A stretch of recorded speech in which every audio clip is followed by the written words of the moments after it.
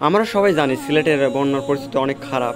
কিন্তু এই ভয়াবহ পরিস্থিতির সময় কিছু মানুষ আরও মানে অসহায় মানুষের উপর নির্যাতন করছে এক প্রকার কারণ এখন যে বন্যার পরিস্থিতি, বন্যার পরিস্থিতিটা কিন্তু অনেক খারাপ। দিন এনে দিন খায়, তাদের অবস্থা কিন্তু অনেক খারাপ।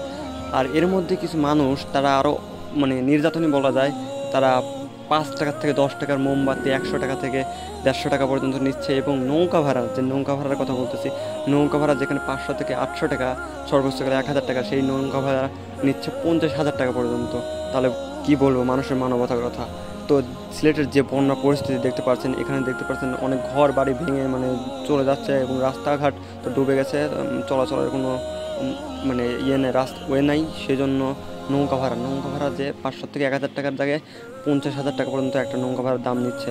দেখতে পাচ্ছেন, বাসা, বাড়িতে সব জায়গায় কিন্তু পানি উঠে গেছে এবং ছোট ছেলেদের নিয়ে মানে সন্তানদের নিয়ে যে কী পরিস্থিতিটা হচ্ছে, তারা একবার অসহায়ের মধ্যে রয়েছে।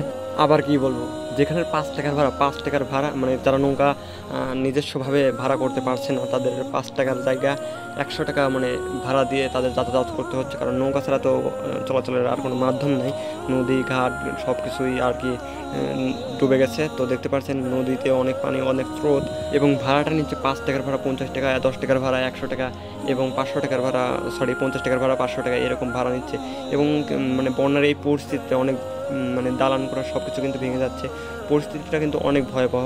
আজকে এক বিবৃতিতে জানানো হয়, সবাইকে মানবিকতার সঙ্গে এগিয়ে আসা প্রয়োজন।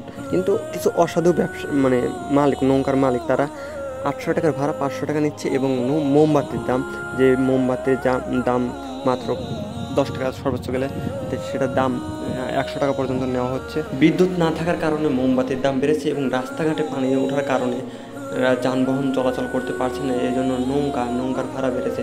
দেখতে পাচ্ছেন অনেকে নৌকা নিয়ে কিন্তু তাদের বাসা বাসা অনেকে আশ্রয় কেন্দ্রে আশ্রয় নিয়েছে।